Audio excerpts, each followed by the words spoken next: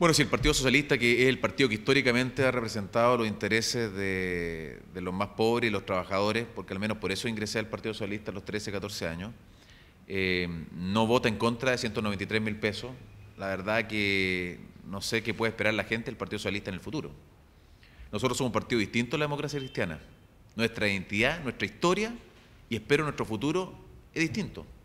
Yo respeto a la democracia cristiana, pero el Partido Socialista no puede negociar migajas con el gobierno cuando la ciudadanía nos está pidiendo que demos una señal clara y potente en un país donde hay un tremendo crecimiento económico, donde hay ricos que se enriquecen y tú lo ves justamente en, torres emblemáticas y esas mismas empresas, a través de empresas subcontratistas, le pagan el salario mínimo a sus trabajadores. Sí, sinceramente, si aquí una vez más eh, terminan algunos negociando con el gobierno de espalda a la ciudadanía, porque eso es de espalda a la ciudadanía, porque la ciudadanía quiere otro comportamiento de la oposición, una oposición firme, con ideas claras, que luche por sus derechos, eh, yo la verdad que no tiene ningún sentido seguir participando en esa oposición, ningún sentido.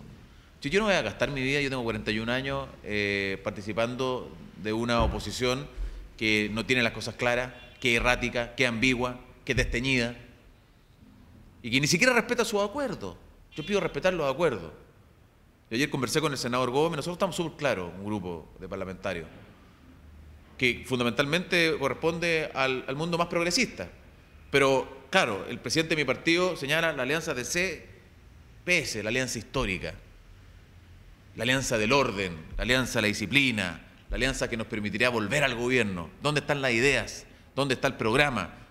¿Dónde está lo que nos identifica como partido de izquierda, que representa los intereses de los trabajadores?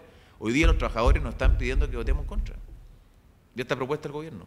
Ahora, si nosotros terminamos negociando por debajo entre cuatro paredes, una asignación un poquito más, una asignación un poquito menos, la verdad que entonces ya, ¿qué sentido tiene funcionar como oposición?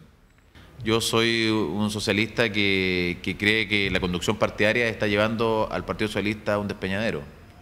Eh, y alguien me dijo, y bueno, ¿y por qué cree eso? Bueno, ¿no será preocupante que un senador socialista como yo, que es socialista a los 14 años, eh, no se sienta ya interpretado por la conducción del partido, en absoluto. Siento que el Partido Socialista es un partido conservador, un partido reaccionario, el partido del orden y de la disciplina, el Partido Socialista, que quisiera ser el partido de la innovación, del cambio, el partido de la idea nueva, progresista. Es un partido reaccionario y conservador. ¿Por qué? Porque el orden es necesario para que vuelva Bachelet. A mí me interesa que vuelva Bachelet con un programa, con ideas, no con orden y disciplina que por lo demás nunca ha sido nuestro principal problema. Al final somos capaces de coordinarnos.